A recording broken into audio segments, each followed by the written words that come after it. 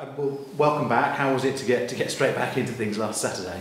Um, it was quite um, unbelievable to be honest. Um, I think uh, my hard work and dedication to not being in the squad um, really helped me develop as a player and as a person, knowing that it's never always going to be easy, especially being a professional football club and at such a good club as Colchester. There's always going to be competition for places, so just have to be patient and just um, work hard and just keep grinding pretty much, yeah. Had you been sort of spoken to by, by both head coaches as it is now as, as to why maybe you, you weren't included and why you'd sort of been taken out of the firing line as it were?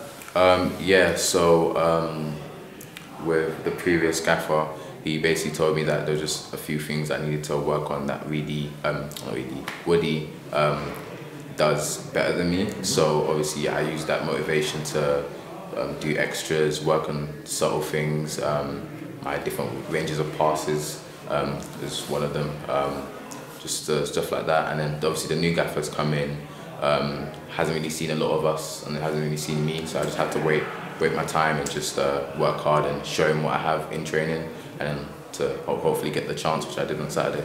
I mean, it has been quite an introduction for you, hasn't it? I mean, you've had three permanent head coaches in charge of, of you this season in making your first steps in professional football. A couple of interim head coaches as well. I mean, your, your head must swirl at times.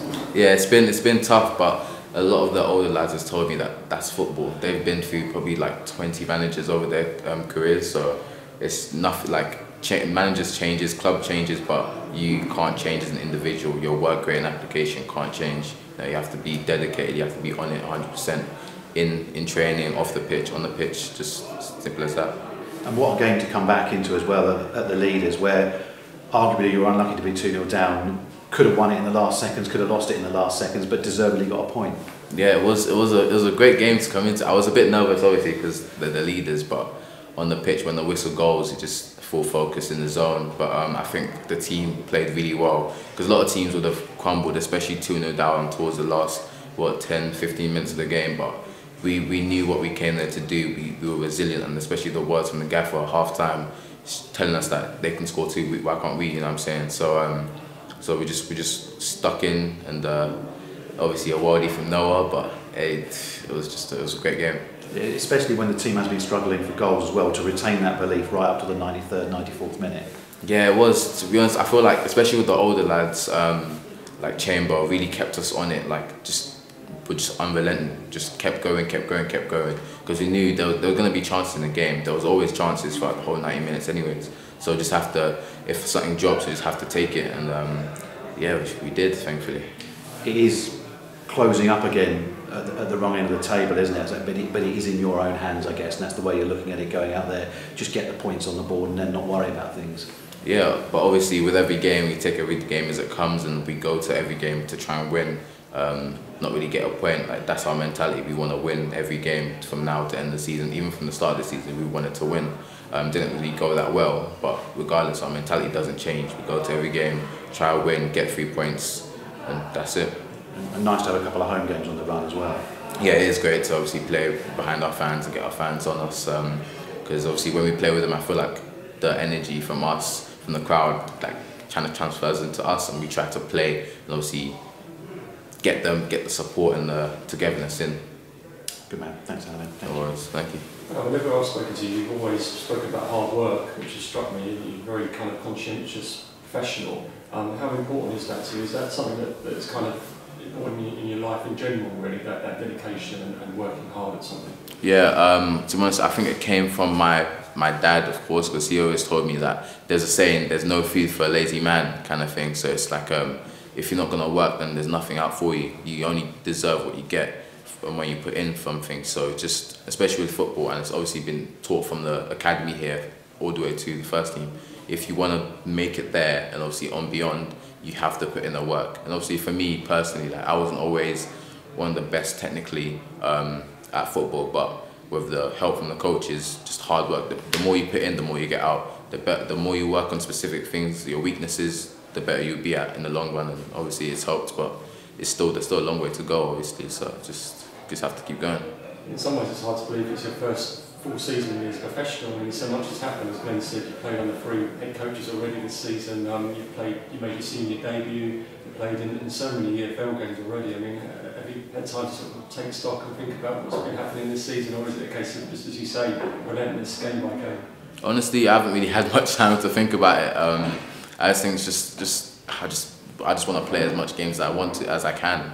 Obviously, you just have to keep working, keep keep grinding, um, and obviously like people like Chamber who has like over hundreds of games. Like that's where I want to get to. So I think maybe towards my end of my career, I might like take a bit to look back on it, but the journey's only begun. You know what I'm saying? So just have to just keep going and get as many games and obviously good performing games um, as well out there as much as I can here. Mm, you've spoken before about the academy. I mean, is it nice to be in the squad with some of your fellow academy graduates, people like Junior, Noah, Samson?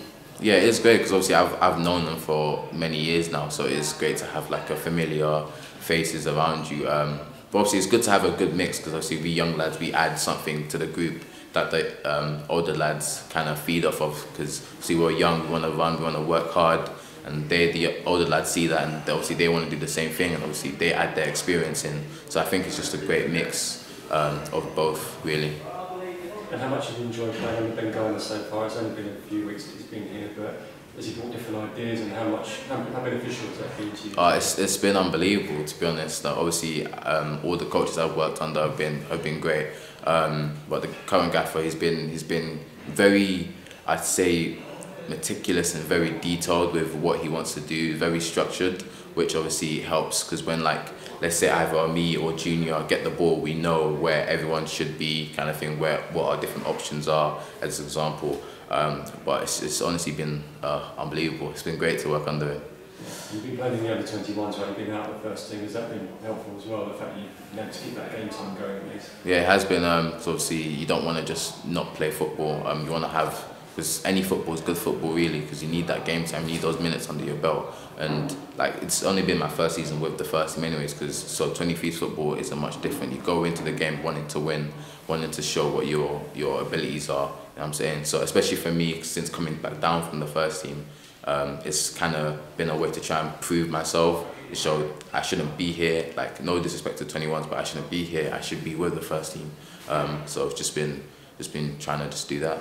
Yeah, and obviously you would have liked to have been playing in the first team, but coming out of the team, has that given you almost a little bit of a rest? I know you've been playing for the under 21s, but the, the position that you play is very demanding. Um, and when, when we spoke to Matt Bloomfield about you being out of the team initially, he did say, oh, we've rested out because he's been playing so much and stuff. So um, has that helped you? I mean, did you feel that on Saturday perhaps that physically it's given you a little bit of a rest and you come back fresher?